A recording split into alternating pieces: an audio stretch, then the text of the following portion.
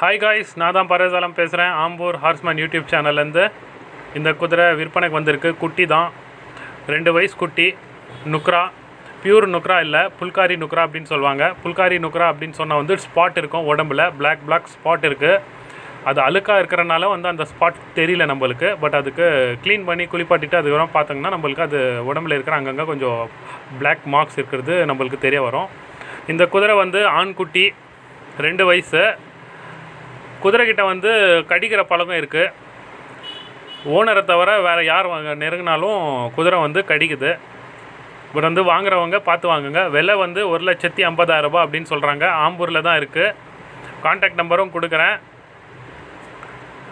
இந்த உங்ககிட்ட என்ன சொல்ல இதில் வந்து மார்வார் குதிரை அப்படின்னு சொல்கிறாங்க இதில் ரைட் சைடு லெஃப்ட் சைடு வந்து குதிரையோடைய காது வந்து ரெண்டு காதாக தெரியுது பாருங்கள் அதுக்கு தான் கிட்ட போயிட்டு இந்த வீடியோ எடுத்தேன். குதிரை வந்து ரொம்ப கிட்ட போனால் கடிக்க வருது. மெயின் இம்பார்ட்டன்ட் வந்து என்னென்னா நிறைய பேர் வந்து குதிரை வந்து எங்கன்னா இருந்தால் பார்த்த உடனே போய் தொடலாம் ஃபோட்டோ எடுக்கலாம் அப்படின்னு பக்கத்தில் போயிடுவாங்க.